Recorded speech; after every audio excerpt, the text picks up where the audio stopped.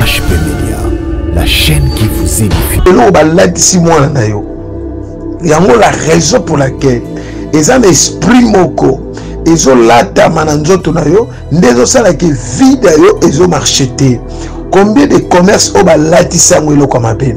combien bapapa ebele balatisi nzoto na ye eloko ya mabe ta eloko oyo balatisi yo yango moke eloko wana nde esala kino libala na yo ozala na kimia te mosala epesamela yo te mpo balatisi yo elongi moko oyo kozwila yango mosala te sadi elongi ya bato mosusu bakozwa mosala me yo balatisi yo motu ya ndeke ntango otambola partout na place bamona yo kena oza motu bamona ndeke na kati ya motu na yo sadi ndeke akozwa mosala te ndeko na nga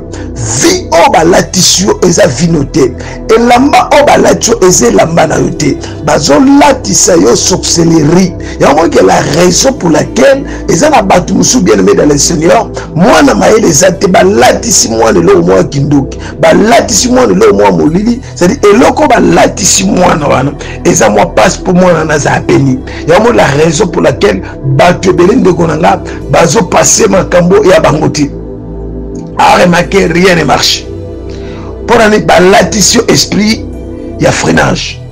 mutu mosusu vie ya priere azala nango te balatisi ye esprit ya nini ya distraction cetadi balatisi yo comportement oyo ozalaka nango te mwana nga akoma impoli pourkui te mwana na balatisi ye demo moko ya impolitesse yango moni ke la raison pour laquelle eza na eloko mosusu babwakela bato mobali na yo eza kokondane ye te balatisi ye demo moko ya publicité balakutana na honte na vie na yo échec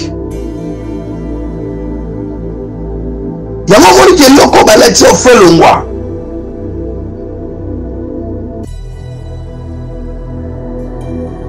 mpo ozwa délivrance na vie il faut longola elambo balatisi yo ya monde de ténèbre yango omoni ke na raison pour laquelle kota bomama na kota botata eza meloko moko esalama na spiritualité oyo ozo comprendre te il faut nzambe apesa esprit ya discernement mpo comprendre ke non eza na eloko balatisa yo lelo eloko wana fe tika vina yo lelo eloko wana fe bima nani oyo alatisa yo eloko ya mabe na nzoto motu alatisaki yo eloko ya mabe akotisaki yo eloko na nzoto il faut a eloko wana ebima balobi nini yo nani okofunda josue yo nani okoreklame liwa na ye yo moni aza job ange apesi ordre bochange elamba toya na livre ya zacharie chapitre 3 le premier verset aibo changer elamba yo mpe nazopesa ordre eloko nyonso balatisa yo na nzoto lelo fe elongwa na nzoto na ye hp media la chaîne qui vous édifie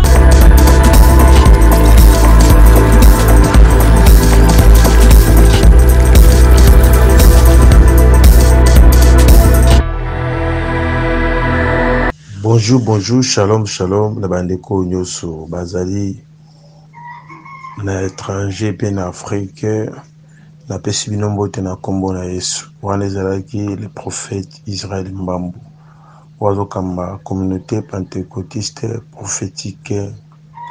la parole puissante. Eza mwa petite exhortation oyo Nzambe amete ngai cœur to partager na bino lelo le premier juin Na kati ya exhortation oyo to partage to lobela ba latisi yo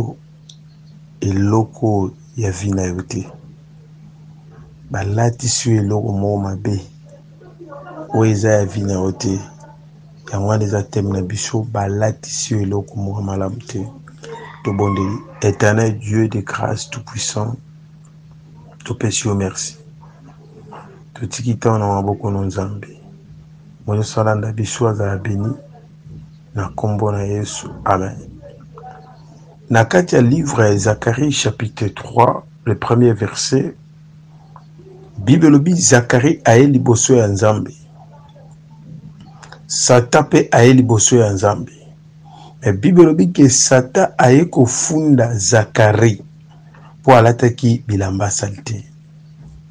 Satan azokanisa ndenge afundaki Job ya kasi mpe afunda afunda Josue le sacrificateur parce que tant que Satan ekofunda Josue mpo Josue alataki bilamba salite mais na livre ya Zacharie mais Bible elobi clairement que Nzambe apesi ordre ba changer Josue bilamba balongole bilamba ya salite balatise bilamba ya propre eza na bato ebele oza na kati ya libala moko omona ke esengo ya libala te ozomona mobali mabe ozoyeba teke mobali no balati elongi oyo azalaki nango te yango moke mwasi ozosepela na lisusu te mobali azomona mwasi mabe ayebi te ke mwasi wana balati ye elongi oyo ye mwasi azali nango te mwasi akomi lokola mobali mwasi aopesa lisusu santima te na kati ya libala na ye cetadi eloko moko balatisi yo ozalaka na sterilité te bazwi sterilité balatisi yo yango ozalaka na vie moko ya malamu me bazwi vie ya crise balatisi yo yango obandaki kolota bandoto mabe te me bazwi ndoto moko mabe balatisi yo vie moko ya mabe bana bazalaki na vie wana te me tala eloko balatisi mwana na yo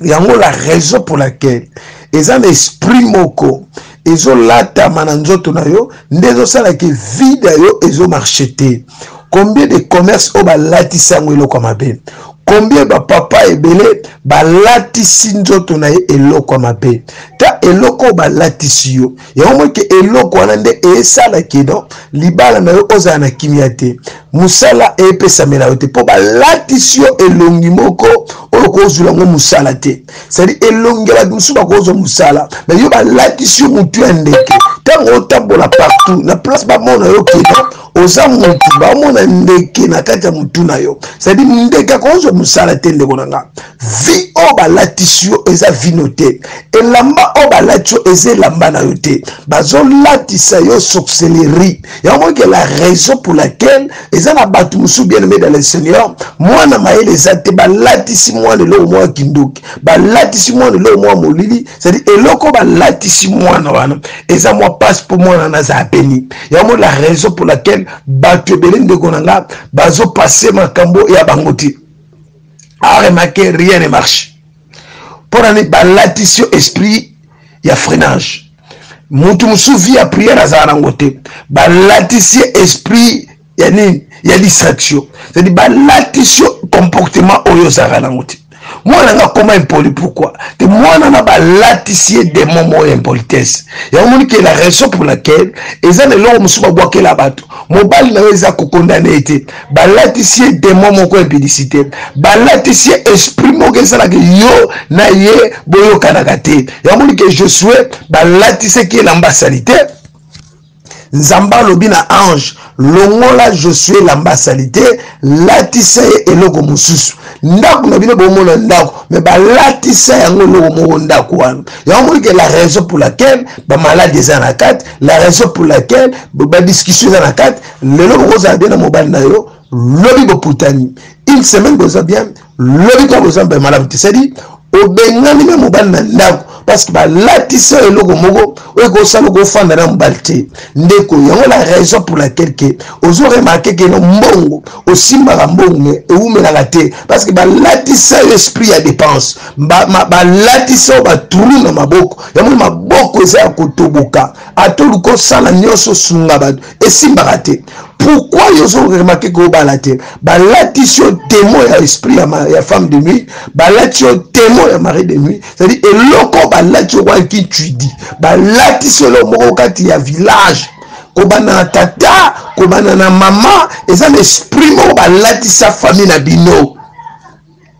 bokufaka na baage moko cetadi balatisa bino esprit de mort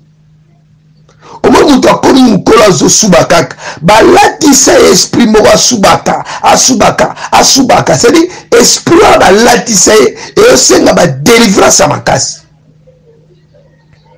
ozomona moto akomi mokolo alalaka aliaka na se apongi balatisa ye baesprit ya mabe na kati na ye yango olike vi oyo ya ye eza kaka vi moko ya mabe soki balatisi yo elamba asali te balatisi yo vi oyo ozalaki na yango te fo baoluka delivrance ya solo yango kolike mutu mosusu ndeko na nga ye ata alali alobaka na se apongi maloba oyo alobaka eza na sens te balatisa esprit moko esprit wana balatisa ye yango moni vie na ezo progrese te bato mosusu balatisa ye kanda aza na kanda oyo balatisa yango ya bondoki ata asali nyonso akopambwama te mpo balatisa esprit ya colere tika na biso ndeko ozolanda yango za mosika ke esprit nyonso balatisa yango na vi na yo il faut elibere yo na nkombo na yesu oyo eza vino te nzambe alobi bochange josue bilamba bolatisa ye bilamba ya feti lelo basali na nzambe ministère ezofoase te balatisi esprit moko mabe ebanda osalisa ye kino akosaka ebanda osalisa ye kino atambola mabe ebanda osalisa ye kino aza anime par mauvais esprit eloko balatisi yo eza vino te yango ozomona keno makambo ebele ezosimba te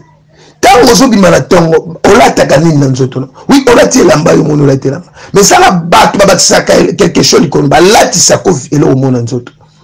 eloko oyo balatisa ko wana meme so oke partout opambwama te eza mwa mpasi mpo opambwa yango la raison pour laquelle ndeko nango oza na poto wana oza na kapasité ozala na bana ya malamu na vi na yo me soki lelo ozobota bana malamu te eza na eloko mo balatisa yo na kati ya libumu na yo me eloko wana ekolongwa na nkombo na yesu ozo comprendre te balatisi eloko moko bato basala bolamu te balatisi eloko moko eke okutana na honte na vie na yo echec yango omoni ke eloko balati yo fe longwa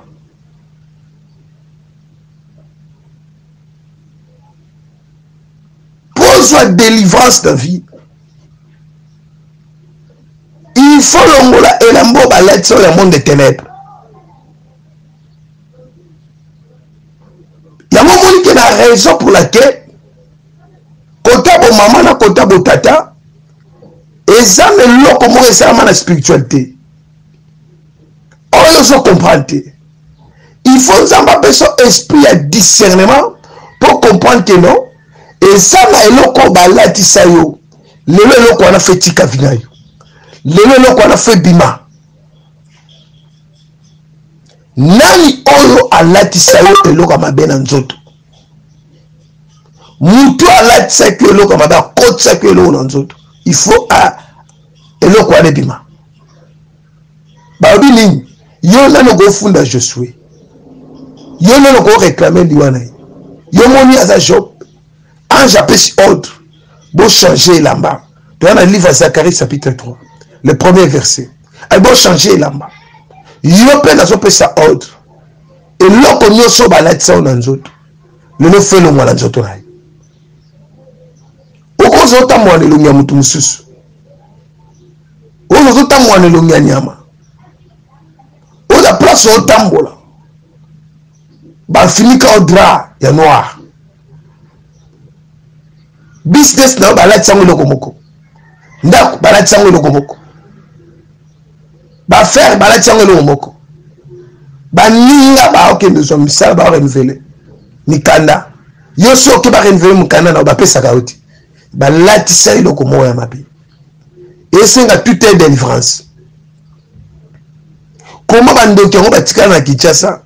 bazo continuer ko maltraiter batu te mama le problème eza bandeko batika na kinshasa te mais le problème eza kedo yeba bien kedo balatisa yo eloko oyo oyebi yango te ah, mikolo mobali na ngai azosepela na ngai lisusu te tosali séparation du corps oyebi eloko nini emema séparation du corps parce que balatisi yo eloko moko na nzoto na yo mwasi mobali asepela na yo lisusu te mobali mwasi asepela lisusu te yango moi ememi séparation du corps la raison pour laquelle ke balatisa yo eloko eloko oyo balati yo fo un sacrificateur alongola eloko wana balatisa yo na nzoto ezomona te ke vie na yo nde balati yo eloko moko eh, oyo eza vino te yo ozalaka boye te yo kozala na niveau oza yango wana te balatisi yo makambo ya nzambe olingaka te otelemelaka nzambe kosambela olingi te ozalaka moto ya vie de prière omate balatisa yo eloko omona butu ekimisa ovi ya prière ekimisa ovi ya sanctification ozo comprendre te ke non eloko balatisa yo ozalaki nango te ndeko tika na biso eloko moko mutu nyonso balatisa eloko lelo fo eloko wana elongwa lelo fo eloko wana elongwa eloko balatisa yo antuka eza ya yo te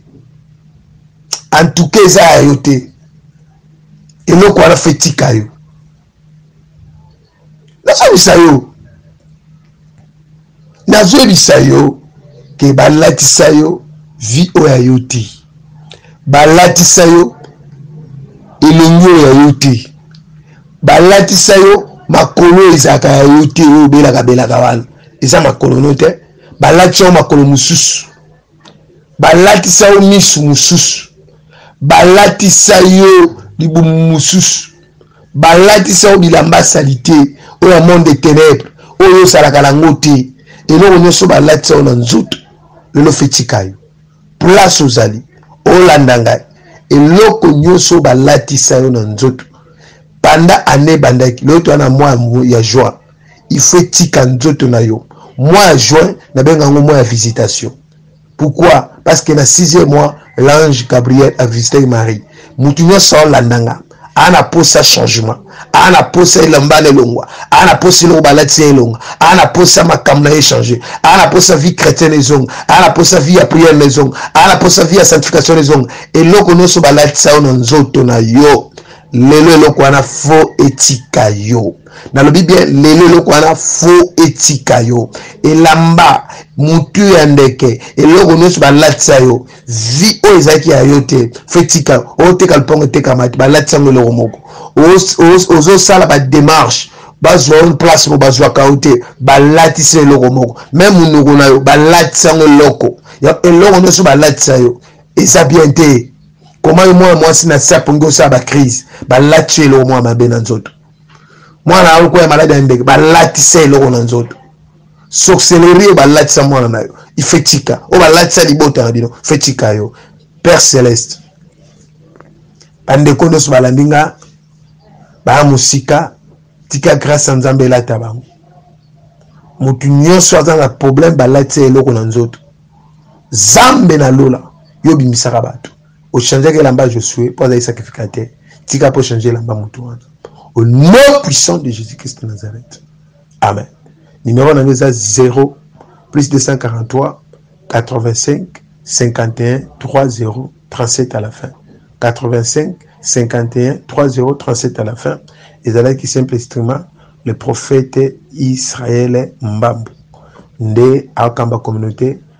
Pantecotisme prophetique, la parole puissante. Nzambe apambola bandeko nyoso na mois ya juin oyo bazala beni mpe bazala protege na kombo na Yesu. Mbote na HP Media mobimba na papa na biso Charlie na Tamwamba bazala mpe beni au nom de Jésus. Amen.